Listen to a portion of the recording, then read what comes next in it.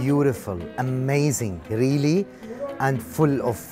Uh, I think it was really productive, really productive event. I like that so much.